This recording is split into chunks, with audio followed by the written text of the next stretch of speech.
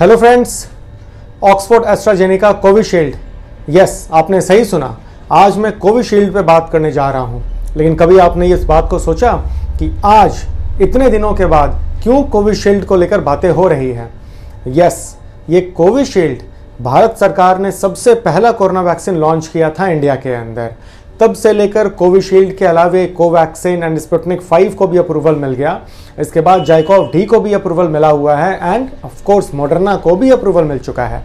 लेकिन आज इतने दिनों के बाद क्यों कोविशील्ड पे चर्चा हो रही है? कोविशील्ड पे चर्चा करनी इसलिए ज़रूरी है क्योंकि आज मैं उन लोगों से जुड़ना चाहता हूँ जिन्होंने दो डोज कोविशील्ड का लगवा लिया है। दो डोज कोविशील्ड लगने के बाद भी कुछ लोगों के मन में आज भी दिक्कत है, आज भी वो तकलीफ़ में जी रहे हैं, आज भी वो पछता रहे हैं। उनका यही मानना है, ये सोचना है कि उन्होंने दो डोज कोविशील्ड लगवाकर बहुत गलत किया। उनकी इम्यूनिटी धीरे धीरे वीक होती जा रही है इम्यून रिस्पॉन्स अच्छा नहीं मिल रहा है एंटीबॉडीज़ का काउंट उनमें कम होता जा रहा है। तो आखिर क्या बेनिफिट हुआ इस कोविशील्ड लगाकर? तो आज मैं उन लोगों से जुड़कर कुछ कहना चाह रहा हूँ। मेरे इस वीडियो को आप आज पूरा देखेंगे एंड पूरा देखने पे आपको सारा आंसर क्लियर हो जाएगा। कुछ मन में क्वेरीज एंड कंफ्यूजन भी होंगी कोविशील्ड को लेकर, वो भी क्लियर हो जाएगा। एंड कुछ लोगों का ये मानना है कि अब तीसरा डोज भी लग जाना चाहिए कोविशील्ड का।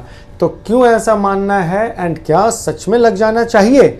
इन सभी का आंसर आपको मिल जाएगा इस वीडियो के अंत होते होते तो आइए बने रहिए मेरे साथ। देखिए इस वीडियो को पूरा।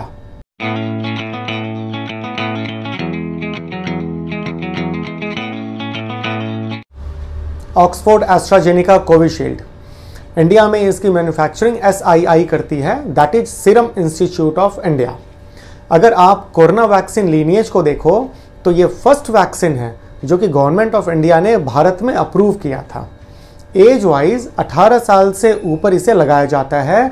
18 साल के नीचे ये कॉन्ट्राइंडिकेटेड होता है। अगर आपको फिर भी ऐसी किसी वैक्सीन की जानकारी चाहिए जो 18 साल से नीचे लगाई जा रही हो तो मेरा ये प्रीवियस वीडियो आप देख सकते हो, जिसमें मैंने आपको एक्सप्लेन किया है 12 से 18 साल की उम्र के लिए ये वैक्सीन है एंड खासकर ये निडल लेस वैक्सीन है। कहने का मतलब इसमें सुई भी नहीं है। बिना सुई के आप इस वैक्सीन को इंजेक्ट कर सकते हो पेशेंट के अंदर। पर्सनस के अंदर। तो जानने के लिए आप देख लीजिए हमारा ये वीडियो एंड जाइडस ने इसको ईजाद किया है फार्माजेट के साथ मिलकर। सेकेंडली रूट वाइज अगर आप देखो तो इसे इंट्रामस्कुलरली लगाना है। डेल्टॉइड रीजन में जनरली इसको लगाई जाती है। जनरली आप देखो तो कोरोना वायरस के अगेंस्ट जितनी भी वैक्सीन हैं, सभी को इंट्रामस्कुलरली ही देना होता है। लेकिन आने वाले समय में एक नज़ल स्प्रे वाली वैक्सीन भी भारत बायोटेक तैयार कर रही है। उम्मीद लगाया जा रहा है कि साल के एंड होते होते वो वैक्सीन भी मार्केट में लॉन्च हो जाएगा। बहुत सिंपल सा वैक्सीन होगा वो जस्ट एक स्प्रे की तरह होगा जो आपको नज़ल मिकोशा में जस्ट छिड़क देना है। इस नज़ल वैक्सीन के छिड़काव से ही आपको कोविड 19 से बचावा मिल जाएगा। तो आप जस्ट ट्यून रहें आप जस्ट मेरे चैनल को सब्सक्राइब किए रहें, आपको ये वीडियो भी बहुत फास्ट मिल जाएगा।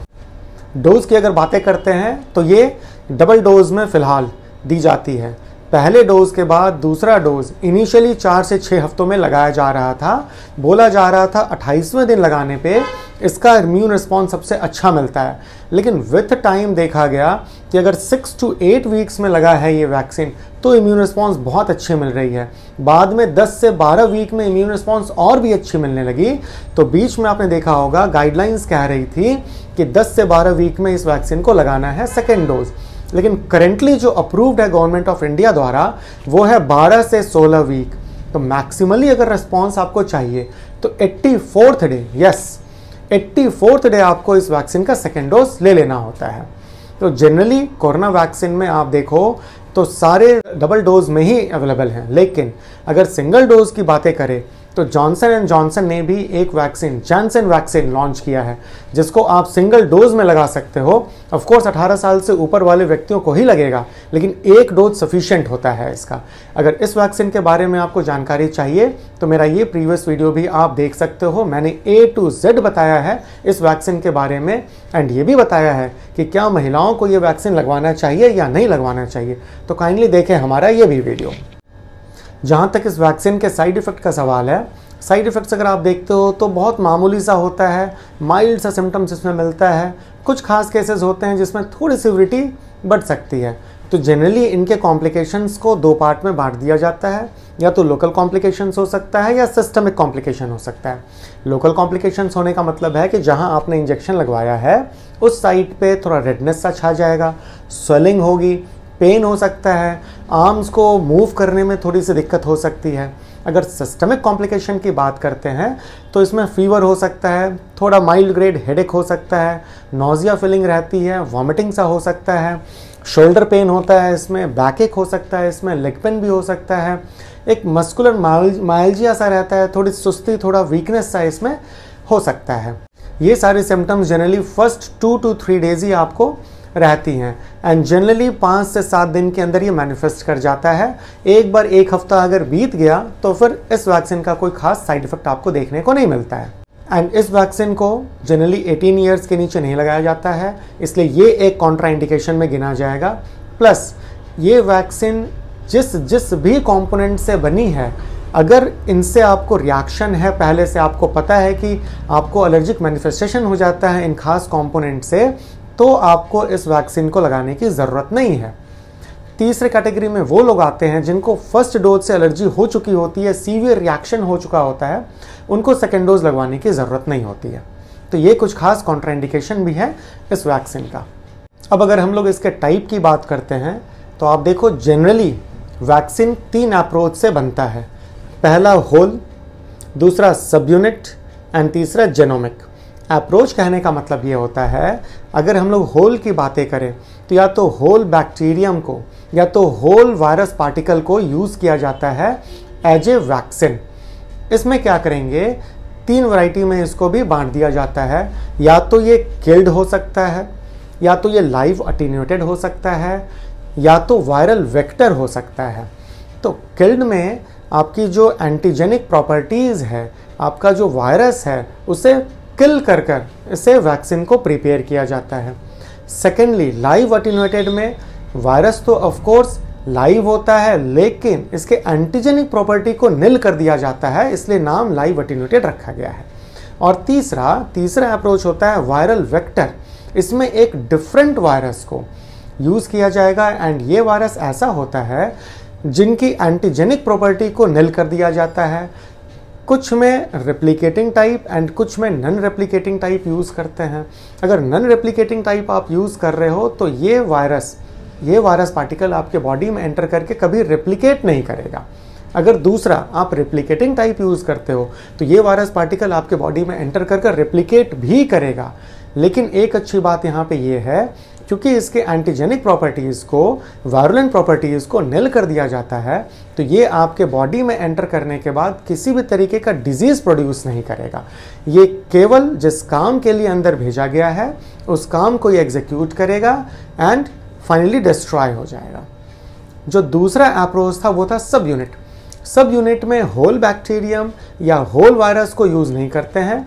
उसमें केवल उन खास यूनिट्स को यूज़ किया जाता है जो कि इम्यून रिस्पॉन्स के लिए रिस्पॉन्सिबल हो एंड आपके अंदर जाकर भी ये डिज़ीज़ प्रोड्यूस ना करें। एंड जो तीसरा अप्रोच है, जो कि अभी अंडर रिसर्च में है, ये है जेनोमिक अप्रोच कुछ वैक्सीन हालाँकि अभी भी मार्केट में अवेलेबल हैं। अगर आप जेनोमिक अप्रोच भी देखते हो तो कोरोना रिलेटेड आप देखोगे तो M R N A vaccine खासकर Moderna vaccine and Pfizer Biotech ये भी M R N A vaccine होती है। इसमें जेनोमिक अप्रोच यूटिलाइज किया गया है। तो कुल मिलाकर ये होता है वैरायटीज़ ऑफ़ वैक्सीन जिसमें अगर हम लोग आज कोविशील्ड की बात करें तो कोविशील्ड में जो वायरल वेक्टर है, वो चिंपैंजी अडिनो वायरस को लिया गया है। एंड ये adeno virus of course antigenic properties में ये निल है। ये जस्ट एक वेक्टर की तरह काम करता है, एक मीडिया की तरह काम करता है, जो एक कंपोनेंट को, जो आपके इंस्ट्रक्शंस को, आपके बॉडी में पहुंचाता है। तो it is just a mediator और ये मीडिएटर ये वेक्टर नन रेप्लिकेटिंग है। ये आपके बॉडी में जाकर मल्टीप्लाई नहीं करता है। तो चिंपैंजी अडिनो वायरस को, जिसको एक वेक्टर के रूप में यहाँ पे काम में लिया जा रहा है, सबसे पहले इसके एंटीजेनिक प्रॉपर्टी को निल किया जाता है, जिसके वजह से डिज़ीज़ प्रोड्यूसिंग इफ़ेक्ट इसका निल रहता है। ये आपके बॉडी में एंटर भी करेगा तो ये डिज़ीज़ प्रोड्यूस नहीं करेगा। प्लस वो फैक्टर जिससे ये मल्टीप्लाई करता है, जिससे ये रिप्लिकेट करता है, उसे भी निल कर दिया जाता है। अब इस वेक्टर में कुछ खास इंस्ट्रक्शंस डालकर हमारे ह्यूमन बॉडी में छोड़ा जाता है इंट्रामस्कुलरली डाला जाता है, ताकि वो ह्यूमन सेल्स तक पहुँच सके। और ह्यूमन सेल्स में पहुंचकर ह्यूमन सेल्स के जेनोमिक मटेरियल के साथ इंटरैक्ट कर कर वो धीरे धीरे धीरे स्पाइक प्रोटीन्स का निर्माण करता है। और ये वही स्पाइक प्रोटीन्स है जो कोरोना वायरस के सरफेस पे मिलता है। लेकिन ये स्पाइक प्रोटीन डेंजरस नहीं होता है। ये स्पाइक प्रोटीन आपको डिज़ीज़ प्रोड्यूस नहीं करता है। होता क्या है कि इस स्पाइक प्रोटीन के अगेंस्ट एंटीबॉडीज का प्रोडक्शन होता है। ये एंटीबॉडीज प्रोटेक्टिव एंटीबॉडीज होते हैं अगेंस्ट कोरोना वायरस अब जब कभी ह्यूमन बॉडी कोरोना वायरस के कांटेक्ट में आएगा तो यही एंटीबॉडीज आपको बचा कर रखेगा कोरोना वायरस के इन्फेक्शन से। तो ये कुल मिलाकर मैकेनिज्म होता है कि किस तरीके से कोविशील्ड वैक्सीन को दिया जाता है बॉडी में एंड कैसे ये इम्यून रिस्पॉन्स प्रोड्यूस करता है। ये वैक्सीन प्राइम बूस्ट टेक्निक पे काम करता है। जैसा कि मैंने आपको पहले भी बताया है कि जितने भी वैक्सीन हैं जो डबल डोज में लगता है या ट्रिपल डोज में लगता है, जनरली वो प्राइम बूस्ट टेक्निक पे आधारित होते हैं। होता इसमें क्या है कि जब आपने पहला डोज लगवाया है तो आपके बॉडी का प्राइमिंग हो जाता है। आपके बॉडी के अंदर कुछ खास एंटीबॉडीज़ बनते हैं एंड वो सर्कुलेशन में रहते हैं कुछ खास दिनों तक ही। लेकिन कुछ दिनों के बाद ये एंटीबॉडीज़ का लेवल धीरे धीरे कम होता जाता है। तो नियत समय पे, अगर निर्धारित समय पे आपने सेकेंड डोज लगवा लिया है तो फिर आपके इम्यून सिस्टम का बूस्ट हो जाता है। तो इम्यून सिस्टम बूस्टिंग में क्या होता है कि ये एंटीबॉडीज़ लंबे समय तक परसिस्ट करता है आपके बॉडी में। सेकेंडली कुछ मेमोरी सेल्स में कन्वर्ट हो जाता है एंड वो एंटीबॉडीज़ रिलीज़ करता है लाइफ लॉन्ग बहुत लंबे समय तक रिलीज़ करता है। जब भी आप कोविड 19 के कांटेक्ट में आओगे तो आपके बॉडी में इन एंटीबॉडीज़ का प्रोडक्शन शुरू हो जाएगा और ये कोरोना वायरस से लड़ाई करने में सहायक होगा। तीसरा, जब आप सेकेंड डोज लगा लेते हो तो आप में टी सेल लीनियज का भी एक्टिवेशन हो जाता है। यहाँ पे टी सेल्स भी एक्टिव हो जाता है। तो कुल मिलाकर ये वैक्सीन भी प्राइम बूस्ट टेक्निक पे काम करता है। लेकिन आज हम लोग इसकी बात इसलिए कर रहे हैं क्योंकि देखा ये जा रहा है कि जब आपने दो डोज लगवा लिया है कोविशील्ड का तो कुछ महीनों में छः महीने के बाद, सात महीने के बाद, इसका लेवल धीरे धीरे धीरे धीरे कम होता जा रहा है। ये आपको लाइफ लॉन्ग इम्यूनिटी नहीं प्रोड्यूस कर रहा है। तो यही आज के चर्चा का विषय है। वर्ल्ड वाइड इसी चीज़ पे रिसर्च चल रही है कि क्या दो डोज सफिशिएंट है या नहीं है कोविशील्ड का। तो कुल मिलाकर रिसर्च में ये देखा गया है फ़र्स्ट डोज 14 टू 15 डेज़ के बाद आपको प्रोटेक्शन शुरू करता है। दो से तीन महीने तक इसका प्रोटेक्शन रहता है। एंड सेकेंड डोज जो जनरली आप दो से तीन महीने के बीच में लगा लेते हो तो इसका प्रोटेक्शन नेक्स्ट छः महीने तक चला जाता है। बट छः महीने के बाद क्या? छः महीने के बाद फिर एंटीबॉडीज़ का लेवल लो होना शुरू हो जाता है। उस समय हमें तीसरे डोज की ज़रूरत है।